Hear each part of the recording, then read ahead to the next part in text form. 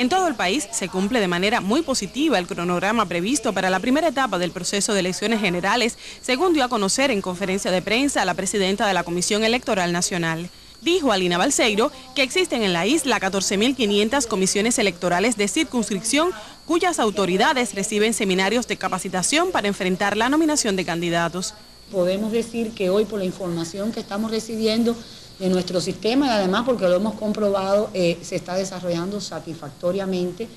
Incluso llevamos el control que los que no se hayan capacitado por ausencia, por vacaciones, por demás, porque no vamos a decir aquí el 100% de una primera vez, llevamos el control, lo llevan ellos y lo vemos que lo llevan con interés.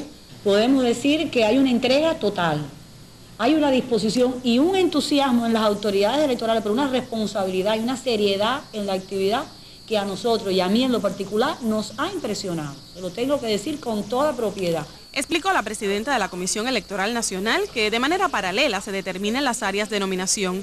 Ya identificadas unas 50.900 en todo el país, cifra que supera el proceso electoral anterior. Agregó que las provincias de Villa Clara, Granma, Camagüey, Las Tunas y el municipio especial Isla de la Juventud incrementan el número de áreas definidas. Este proceso, abundó Alina Balseiro, resulta de suma importancia y se monitorea de manera detallada, en tanto debe garantizar la cifra adecuada de candidatos durante las asambleas de nominación. Enfatizó la presidenta de la Comisión Electoral Nacional en la necesidad de lograr la mayor organización en el proceso de nominación de candidatos previsto para el venidero septiembre.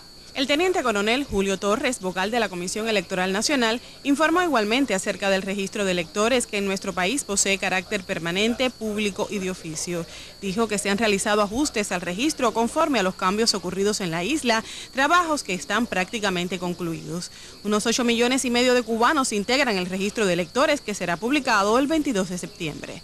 Rosana Thompson Casamayor, Sistema Informativo de la Televisión Cubana.